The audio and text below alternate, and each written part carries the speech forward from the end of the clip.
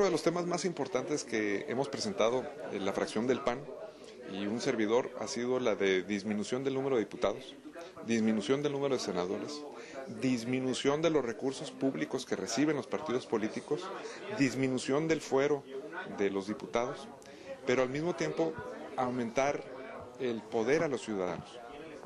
Esto es quitarle poder a los partidos políticos y tenemos que quitarse los partidos políticos y darse a los ciudadanos.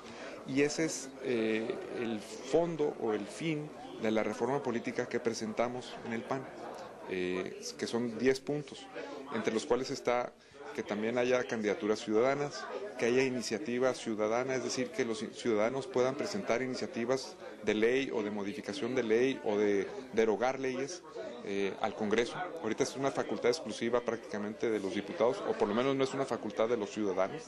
Este, y en fin, muchas cosas que le dan poder a los ciudadanos y que le restan poder a los partidos políticos. Esas propuestas hicimos, esas propuestas están sobre la mesa, esas iniciativas presentamos. ¿Y qué ha pasado? Pues ¿qué ha pasado? Que los otros partidos han hecho caso omiso a esas propuestas. En los hechos no han dado el tiempo, ni la energía, ni le han puesto ganas a que estas cosas avancen. ¿Por qué? Ahora, quiero ser muy, muy respetuoso con los partidos políticos. Eh, particularmente el PRI, le hemos puesto sobre la mesa estos temas y no, los ha, no les ha dado seguimiento. En muchos de ellos ni siquiera se ha expresado ni a favor ni en contra. Y entonces no están obligados los demás partidos a estar de acuerdo con todo lo que proponemos. Eso no se vale. Pero sí hay cosas en las cuales el PRI está de acuerdo, el PRD está de acuerdo con las cosas que hemos propuesto y no han hecho nada.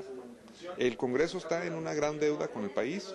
Yo propuse con otros diputados compañeros que hubiera un periodo extraordinario de sesiones, es decir, terminamos nuestro, eh, nuestro periodo ordinario y se va a receso el Congreso.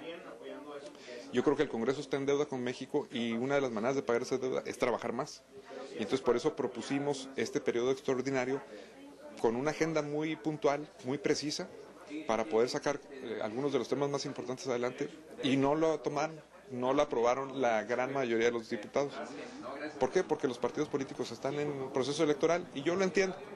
El problema es que eh, parece que hay más interés sobre lo que le importa a los partidos políticos que sobre lo que le importa a los ciudadanos.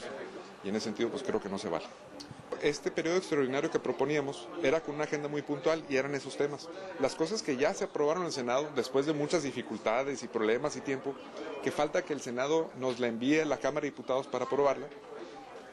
También hay cosas que se aprobaron en la Cámara de Diputados con mucho tiempo, energía y esfuerzo, y falta que las enviemos al Senado. Ese es un procedimiento normal. Lo que se aprueba en una generalmente se tiene que ir para revisión o aprobación en la otra, o modificación. Pero muchas veces lo que se aprueba en una casi casi es es predecible que se pueda aprobar en la otra. ¿no?